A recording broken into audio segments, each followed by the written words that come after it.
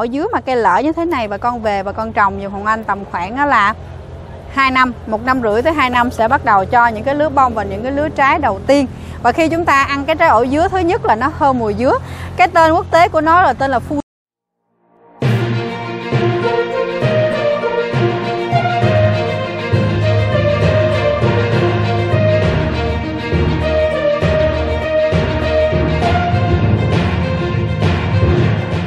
bà con thân yêu mình là Hoàng Oanh đến từ siêu thị cây giống Willow Farm. Hôm trước mình có chia sẻ với bà con chúng ta top 7 loại cây độc lạ đáng trồng thì có nhiều quý bà con chúng ta lại ờ, chắc là bà con chúng ta sống ở những thành phố lớn, bà con chúng ta cũng thích trồng cây nhưng bà con chúng ta lại ờ, không có nhiều không gian gọi là đất ở dưới nền để chúng ta trồng thì bà con chúng ta muốn những cái cây độc lạ trồng trong chậu. Thì ngày hôm nay Hoàng Anh xin phép được thay mặt đội ngũ của Willow Farm chia sẻ với bà con chúng ta top 10 loại cây độc lạ trồng chậu rất là xinh và sẽ chắc chắn là ra trái cho quý bà con chúng ta và trong video này thì anh cũng sẽ chia sẻ một cách rất là cụ thể về đặc tính của mỗi loại để bà con chúng ta quyết định là coi có trồng nó hay không nha và quý bà con chúng ta bắt đầu với cây đầu tiên Cây đầu tiên thì anh muốn chia sẻ với bà con chúng ta đó là cây hồng tình yêu hay gọi là cây Black Sabote.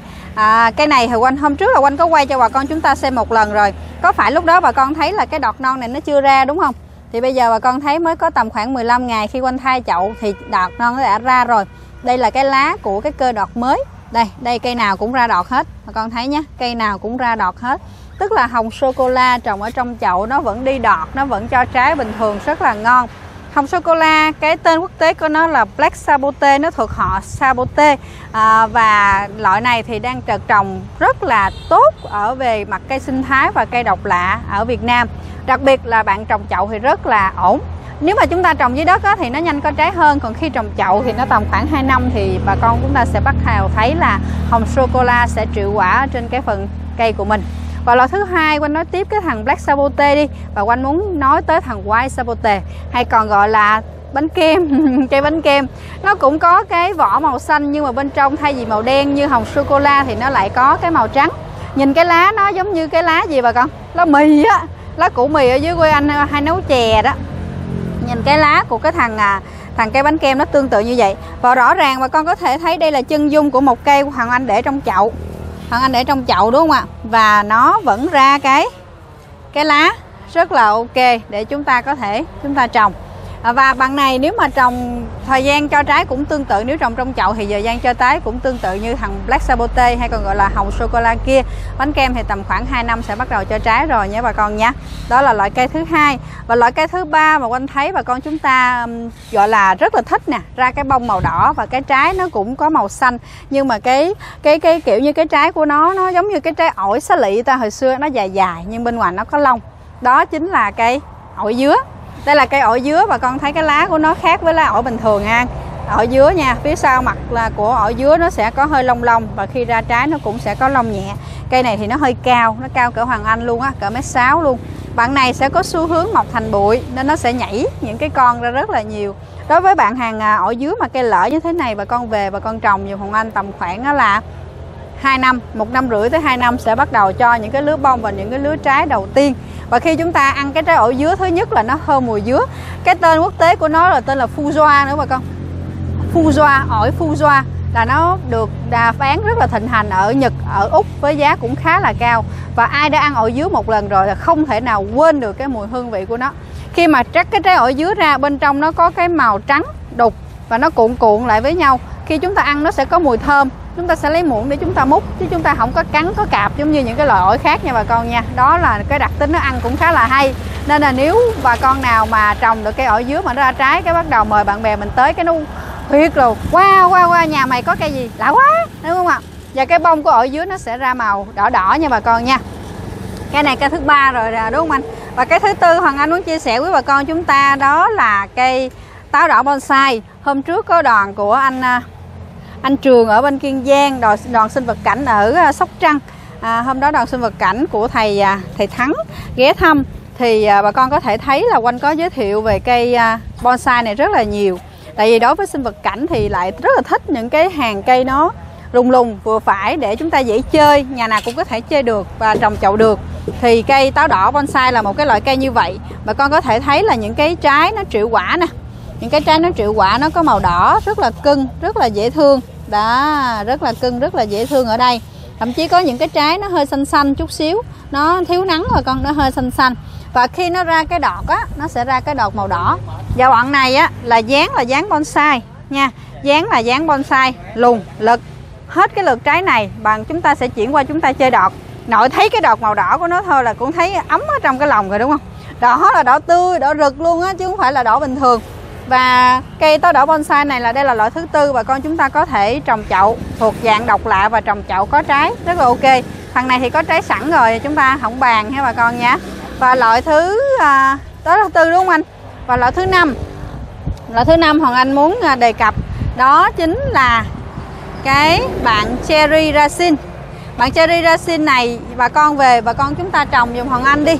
Trồng dùng hoàng anh tầm khoảng là một năm rưỡi nữa nó sẽ có trái à, hôm trước anh Xuyên ở bên Đồng Tháp có gửi cho Hoàng Anh những cái cây cherry racin à, để mà Hoàng Anh coi là rất là hoan hỷ à, rằng là anh đã trồng cho nó có trái rồi và nhìn cái trái nó rất là dễ thương. Và anh có hỏi Hoàng Anh là có trồng để làm kinh tế được hay không? Thì quanh nói là đối với cái cây cherry racin thì em thuộc em gom nó với ý chí chủ quan của em và công ty. Thì em đưa nó vào cây độc lạ thôi chứ em không có đưa nó vào cây kinh tế. Lý do là cái trái cherry racin nó không có thể nào cạnh tranh được với lại cái trái, trái cherry mỹ cherry úc. À, rất là sao bà con? Rất là rất là bóng bẩy và mọng nước. Mà con thấy bán bốn năm trăm ngàn ký á là đó là cherry ra cherry Mỹ, cherry Úc chứ không phải cherry racine. Cherry racine thì cũng thuộc dòng cherry nhưng trái nó sẽ nhỏ hơn và cây này có thể trồng chậu. Đối với cây như thế này bà con trồng khoảng năm rưỡi nha. Đây, cherry racine nè, bà con trồng khoảng một năm rưỡi là nó sẽ bắt đầu có trái nha, rất là dễ thương, rất là dễ đậu trái, kiểu gì nó cũng đậu trái được hết nha bà con nhé. Nếu mà nhắc tới cherry thì thôi quanh quay qua bên này đi. À mấy Min Min đứng đây với mẹ hả? Bên qua quay qua bên này thì quanh nhắc tới là cây nho thân gỗ đi bà con nha. Tại vì cherry racine với nho thân gỗ là xuất phát điểm là xuất hiện cùng một lúc. Lô nho sân rổ, gỗ này của Hoàng Anh đang rất là lùng lực và rất là dễ thương. Tuy nhiên nếu mà nói về hàng cây đối với những cái cây nho thân gỗ như thế này, bà con chúng ta trồng á, bà con chúng ta trồng tầm à, cây này thì có những cây có trái rồi, như là cây à, cái cây bên này anh nghi anh đã lấy cây cho Hoàng Anh cây có trái luôn nè. Đây là nho thân gỗ 12 vụ trái màu đỏ lá lớn bà con chúng ta trồng trong chậu chắc chắn nó sẽ có trái. Và đây chính xác dẫn chứng là đang có trái luôn. Nó mọc từ ở dưới cái phần à, phần gốc của nó lên. Và nó vừa cho trái vừa cho bông rất là đẹp bà con thấy không ạ? Nên à, thằng nho thân gỗ này bà con chúng ta trồng chậu rất là ok để làm cho khu vườn của mình là độc lạ hơn à, rồi là hấp dẫn hơn và thấy có trái nó rất là đẹp. Nãy là anh đề cập tới cây gì rồi hen? À, một là cây hồng sô cô la hai là cây bánh kem ba là cây à, à, ổi dứa bốn là cây táo đỏ bonsai năm là cây nho thân à, năm là cây cherry racin, sáu là cây nho thân gỗ. Bây giờ tới cây thứ bảy nha bà con chúng ta cố gắng dùng hoàng anh nha. Chúng ta tới cây thứ bảy đi. Cây thứ bảy nhìn xa xa chắc bà con chúng ta thấy cái loại cây độc lạ mà hoàng anh muốn chia sẻ đó chính là cây lụ đỏ ấn độ. Đây bà con thấy lụ đỏ ấn độ cái trái này nó đậu luôn rồi nè và Hoàng Anh, cái lô này Hoàng Anh mới có vô chậu tầm khoảng 20 ngày. Bà con cứ nhìn lướt qua đi. Thấy có cái gì điểm đỏ đỏ đỏ đỏ, thấy thương không? Đó là những cái bông của lựu đỏ Ấn Độ bà con. Lựu đỏ Ấn Độ hàng bên siêu thị cây giống Willow Farm, đây là hàng nhập khẩu, chứ không phải là hàng trong nước. Nên thành ra cái sức sinh trưởng của nó rất là tốt và thằng này nó sẽ rất là dễ cho trái. Cũng như giống như là anh Hưng Mai nè, rồi à, bạn Vân Nam à, rồi một số anh chị khách hàng mà quanh à, thấy hay gửi những cái feedback về cho Willow Farm đó thì những cây lựu đỏ Ấn Độ này đã trồng cho trái rất là tốt và ăn rất là ngon hạt khá là mềm hạt rất là mềm và rất mọng nước. Một cái cây lựu đỏ Ấn Độ như thế này bà con về bà con trồng chậu dùm Hoàng Anh. Nội chúng ta chơi hoa chúng ta chơi lá không là chúng ta đã thấy vui rồi. À, huống chi là khi mà nó có trái mà có trái nó sẽ lủng lẳng rất là thấy cưng và rất là dễ co trái không cần phải thụ phấn gì hết bà con nha. Tự nó thụ phấn thường thường đó là bà con sẽ thấy là trên một cái bông của lụa đỏ Ấn Độ nó có ba bông. Một cái bông bé cái chính giữa, hai cái bông ấy hai bên. Hai cái bông đực hai bên thì cái bạn đực này sẽ phụ phấn cho các bạn, cho các bạn cái ở chính giữa. Và rõ ràng, bà con thấy nè, từng cái đọt nó ra nó ra những cái bông rất là dễ thương. Và nếu mà nhà ai chưa có cây lựu thì nên nhanh chóng trồng cây lựu đỏ Ấn Độ này trong nhà. Bên cạnh lựu đỏ Ấn Độ thì còn có lựu Peru và những cái loại lựu khác như lựu tím. Nhưng quanh thấy cái màu đỏ của lựu đỏ Ấn Độ nó quá đẹp cũng như là cái giá trị dinh dưỡng của nó quá ok nên là quanh muốn chia sẻ với bà con chúng ta là nên trồng cây lựu đỏ Ấn Độ để trở thành cây độc lạ cho gia đình của mình. À, cây này cây thứ bảy rồi đúng không anh? Rồi cây thứ 8 ha. Cây thứ 8 thì quanh xin phép được chia sẻ với bà con chúng ta đó là cây chanh vàng Mỹ. Bà con thường thường thấy cái trái chanh của chúng ta thì nó như thế nào ạ? Cái trái chanh của chúng ta thường thường nó có màu xanh và khi mà chúng ta đi ăn sushi hoặc là ăn uh, uống những cái món nước mà ở những cái cái cái uh, những cái quán mà nó uh, có cái dạng đề co tức là dạng trang trí á, mà con chúng ta sẽ thấy là xuất hiện cái bạn chanh vàng mỹ này. Nó xuất hiện sao vậy quanh nó xuất hiện như thế này. Nó xuất hiện là là chúng ta sẽ thấy là người ta sẽ lấy cái trái chanh vàng đó người ta cắt một lát xong người ta điểm vô những cái món ăn hoặc là người ta điểm vô vô cái ly nước của mình. Thì cái thành chanh chanh vàng mỹ này cái vỏ nó sẽ có màu vàng nó rất là mọng nước. Cái ruột nó cũng màu trắng đục nha. Nó cũng tép tép vậy đó. Và cái vỏ, cái cái à, nó rất là mọng nước. Và đối với thằng này, thằng ghép bo, thì bà con trồng dùng quần anh khoảng năm rưỡi là sẽ bắt đầu có trái và trái rất là sai. Và ra nguyên cái cây à, cây cây cây chanh màu cây khi nó chín mà con tưởng tượng nó màu vàng mà nó trái nó dài dài dài dài, thấy thương dữ lắm. Nên cây này cũng là một cây loại độc lạ rất là đáng trồng ở trong nhà của mình và trồng trong chậu thì rất là ok. Đây là cây thứ 9 ha anh Nghi. Và cây thứ 10 đó chính là cây à, à, cây thứ 8 hả? Còn giờ tới cây thứ 9 hả? Cây thứ 9 đó chính là cây à, cây chanh à, ngón tay. Ở đây có trái sẵn luôn nè. À, mà con thấy là chanh ngón tay nó hơi có gai nha. Cây này là cũng là cây nhập khẩu và cây rất là độc lạ. Ừ, Nói tiếp cái thằng mà đi ăn sushi luôn là cây chanh vàng mỹ luôn. Thì thằng chanh ngón tay này bà con sẽ thấy thường thường sẽ xuất hiện trong cái những cái bàn sushi những cái cái bữa ăn sushi. À, bên cạnh trứng cá hồi rồi à, à, nói tự nhiên cái thèm quá lâu quá về đây không có được ăn cái loại đó. Thì à, là bà con sẽ thấy là nó sẽ là một cái loại à, rất là mắc tiền. Thường thường là bán tầm khoảng triệu rưỡi 2 triệu một ký không á. Một ký um, trái chanh ngón tay này nè. Và chanh ngón tay này rõ ràng khi mà quanh để trong chậu bà con thấy là nó vẫn đang cho trái nè. Nó vẫn đang cho trái rất là ok nhé và thằng này thì rất dễ cho trái. À, một cái anh một cái bác nông dân ở long đầu ở vĩnh long đã trồng rất là thành công loại chanh này nhưng đây là cái video mà quanh muốn chia sẻ với bà con chúng ta về cái um, những cái loại cây mà có thể độc lạ mà có thể trồng chậu được. Tại trồng cái cây nó quá quen rồi thì nó không nói gì. À, nên là là là thành là ra trồng những cái cây rất là lạ như vậy làm cho cuộc sống của chúng ta sẽ thú vị hơn. Và để quanh tìm thêm một cái cây nữa nha. Đó là cây hồng sim ruột đỏ trái xoài. Hồng sim ruột đỏ trái xoài thằng này là đang à, đang trái luôn nè đang trái luôn nè, mà con thấy trái nhiều quá, lá nó sơ sát luôn không? Lại bớt trái giùm em đi nghi nhiều trái quá. Nhỏ sơ sát luôn, rất là dễ đậu trái và rõ ràng là bạn ấy đang đứng trong chậu và cho trái luôn. Rất là thấy cưng. Đây đây là hồng sim ruột đỏ trái xoài, nó có cái ruột mà hơi mà ẩn đỏ nha, và rất dễ cho trái nếu mà con chúng ta trồng chậu. Thì nãy giờ thầy Hoàng Anh đã chia sẻ với bà con chúng ta top 10 loại cây độc lạ trồng chậu nhanh cho trái.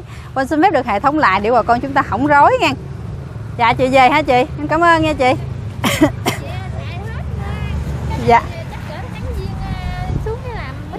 Dạ làm bông có gì alo em? Em xuống em hỗ trợ. Nha làm bông alo em nha. Alo cho bé dơn rồi em em xuống.